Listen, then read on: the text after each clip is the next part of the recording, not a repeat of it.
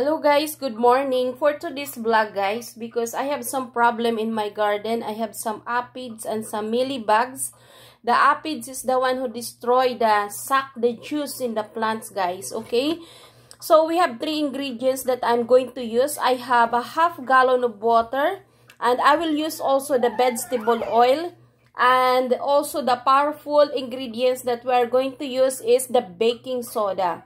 Baking soda, we can use baking soda in baking, cleaning, and many all purposes that we can use. So for this video is I will show you how I'm going to a uh, solution pest killing control organically 100% guys. So uh, half gallon of water because I have so many, you know, I, I need to kill all those bugs. So, we will make sure, we will have, we will put uh, one, two teaspoon.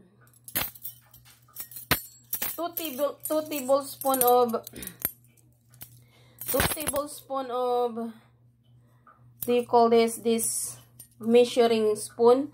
And then, I will make sure is 2 is to 2, okay? The baking soda and the oil. We will see how effective is this kind of pest control. So, we will put also the oil. I'll use also the 1, 2, 3 vegetable oil, guys. So, we already done putting the oil and, and then we will drop something like 7 drop. 1, 2, 3, 4, 5, 6, 7. So, this is the antibacterial hand soap, 99% killing. It's a lavender gentle for our skin. So, let's shake this.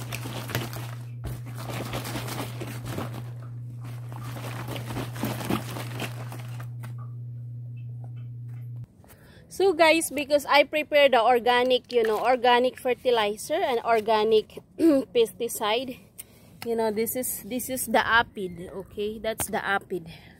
It's killed my plants. Okay, guys.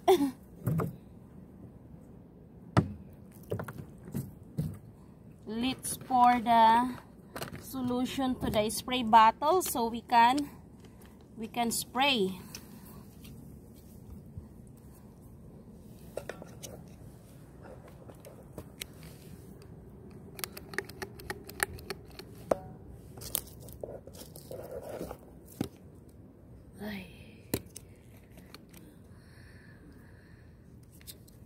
My goodness.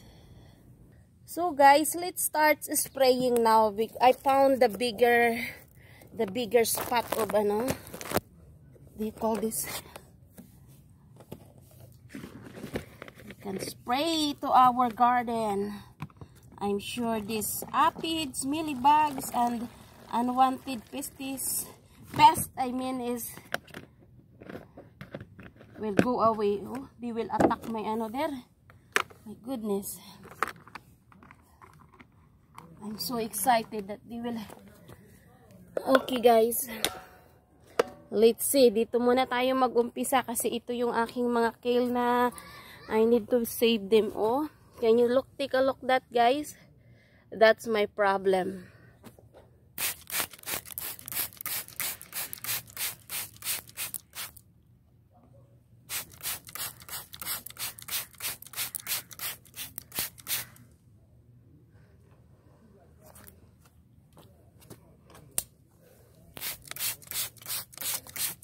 See how it's worked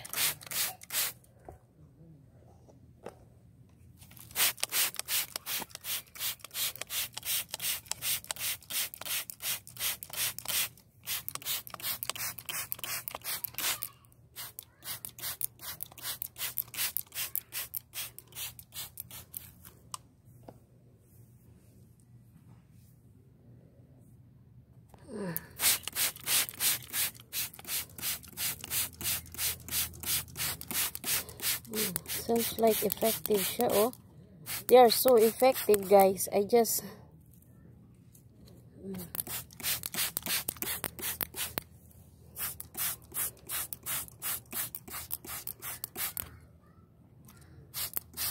I put lavender gentle soap. Guys, this is the way I'm going to kill. This is organic, not harmful pesticide. You can we can buy also in the in the store but we don't like I don't want to use any kind of harmful pesticide because I want to go organically. This is the one. I think last year I didn't see this kind of aphids. But usually aphids destroy also the guava tree. This is the the most ano the most bug that killing them. The aphids.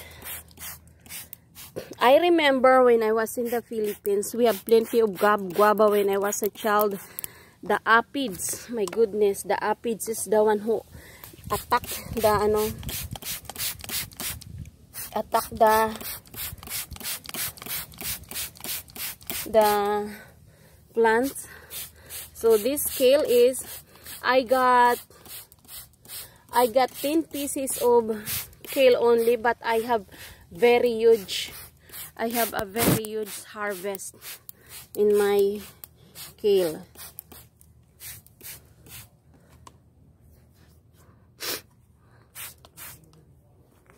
So let's come over here. Ina-attack nila pa unti-unti eh.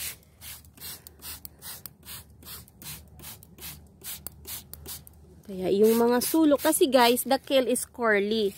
So in the, doon sila sumusuot sa mga ano na yan, oh. Like this. But it's okay, this is not harmful.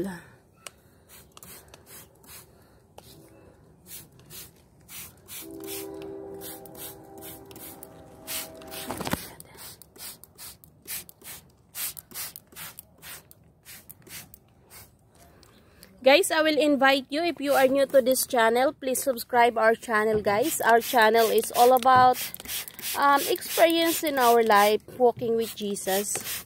And gardening, cooking, shopping, you can see also here in our channel. It's part of our life here. Uh, Adventure Life 101 in America. Of course, because we are living here in America. Look at this guys, oh umaano siya. Sinasak talaga niya yung ano sinasak they're sucking the plants. But I don't want to to destroy I don't want to remove this um, kale because I know it will propagate more it will have more fruit. So uh, what I'm going to do here now is I'm spraying the part that they are infected of this aphids or millipedes bugs because some other plant also it will be affected. It's infected this kind of bugs you know. So hopefully it will be ano this one having a good solution guys. In every problem guys there is always a solution Okay, if you if you want to be part of the solution, you are not part of the problem. If you are not part of the solution, probably you will be part of the problem. But always choose the best. Always choose the best solution. Okay, guys? It tips lang po, guys. Advice lang ni ate. Anyway guys, nasa garden tayo ngayon kasi yesterday I've been harvested a lot of my kale. Okay, I have some cabbage also here. As I said, one of my vlog here, I will focus this year the um, greens. I'll focus greens this time.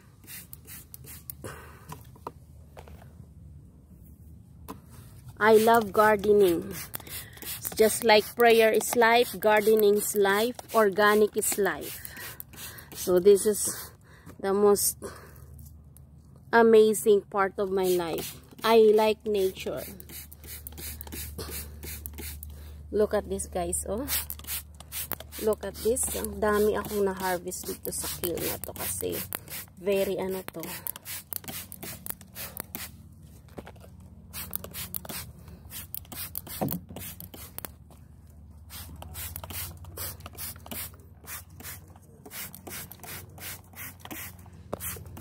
We do organic guys because we know organic is good for our health and it's not harmful for our body and our Look at the plants. Hindi siya namamatay, guys. Um, compare dito, hindi ko pa siya na-sprayan ng ano. Ito, oh.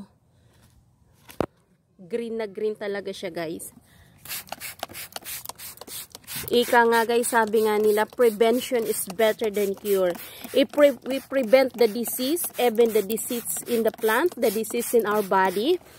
So, it's easy if we prevent it. We prevent than to cure. Because if we cure, it's already there. It's already there. So, we don't, we don't, ano that. Okay? So, look at this one, oh. So, I need to spray all my, my, what do you call this one? This is my, ano guys, this is my peach. This year, as I said, I have so many video here that I found the seeds of the peach and in the ground. So, I recognize that's the peach. So, this is it. One of this one, I think I have, ano this one, oh, look at this. Who is, they're trying to, ano, my, ano, my plants. But anyway, they will not be successful this kind of bags. Wow! Very ano talaga guys, oh. Mm. Kasi guys, sinasak nila yung ano, sinasak nila yung tawag nito. Kaya, naaano yung tawag nito guys. Sinasak nila yung juice ng plants. So, yung plants namamatay. Kaya itong mga ano na to. Let's prevent some of my peppermint. Here guys, I have also my peppermint. So I'll be prevented. I will prevent the ano to come here in my but over there is my onion and my garlic.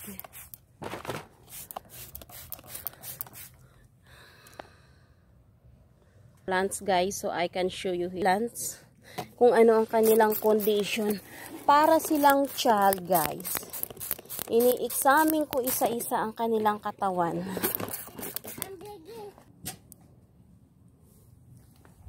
So, let's prevent also this guys. I have some on here. Itong malaki yung mapapakinabangan natin tong ano na to, kill na to. Habang hindi pa ako nakakapag-replace kasi I will plant more.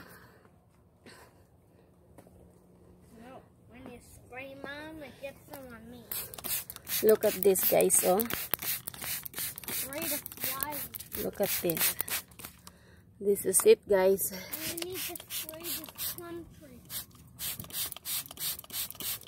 I noticed this one. This is here in our area. There are so many like this. Even the roses also. So, this is the